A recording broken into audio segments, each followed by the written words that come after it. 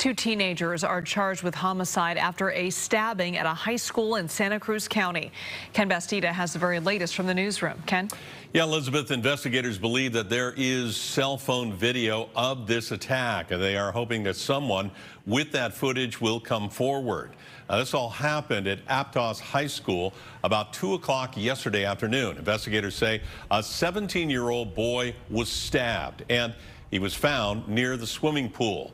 He was treated by first responders and then airlifted, but he died from his wounds. The suspects, a 17-year-old and a 14-year-old, were arrested and booked into juvenile hall.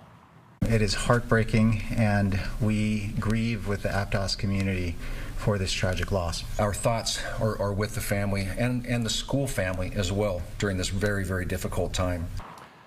Well, this incident prompted a nearly four-hour lockdown. Students were bused to Cabrillo College, and parents had to pick them up there.